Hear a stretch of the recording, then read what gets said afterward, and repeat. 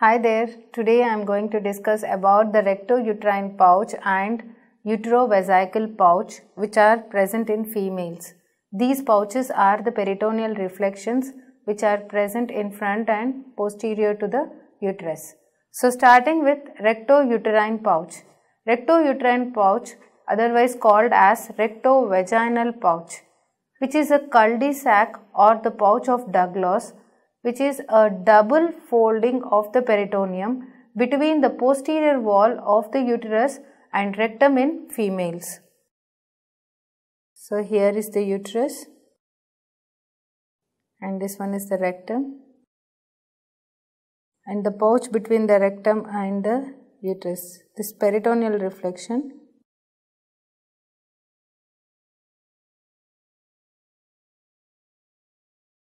So let's see the boundaries of this pouch. Anteriorly it is bounded by the uterus. We can see anteriorly the posterior wall of the uterus and the posterior fornix of vagina.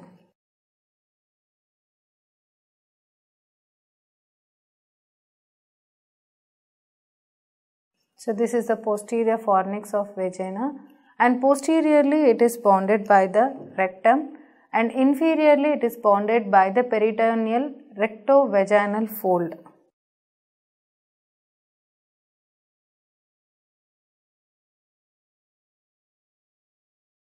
So, rectovaginal fold of peritoneum.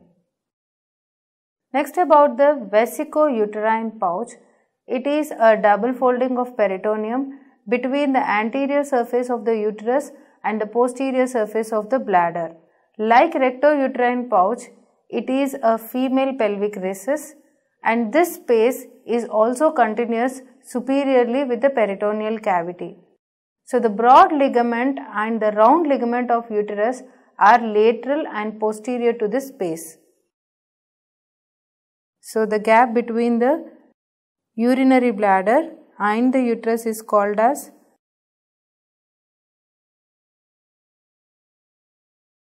The vesicouterine pouch or uterovesical pouch may become attached to the uterus, preventing sliding of the urinary bladder past the uterus. So, we can see that this pouch is not that prominent as rectouterine pouch because the both the peritoneal reflections they make this pouch very small because the ut uh, uterus becomes almost near to the urinary adheres to the urinary bladder and uh, this uh, prevents the sliding of the urinary bladder past the uterus.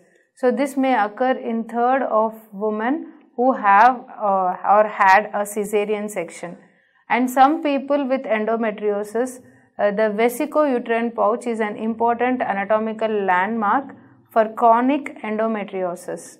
Endometriosis means it is a formation of ectopic endometrial tissues. So, during chronic endometriosis, this pouch becomes a anatomical landmark. And endometrial uh, shedding in this region causes cyclical pain in the woman of childbearing age. So, this pouch is an important factor uh, in a retroverted uterus because which can frequently complicate pregnancies. So, normally the uterus is forward bended, so anteverted uterus. So, in retroverted uterus, uh, this pouch makes as an important uh, factor which uh, frequently complicate the pregnancies.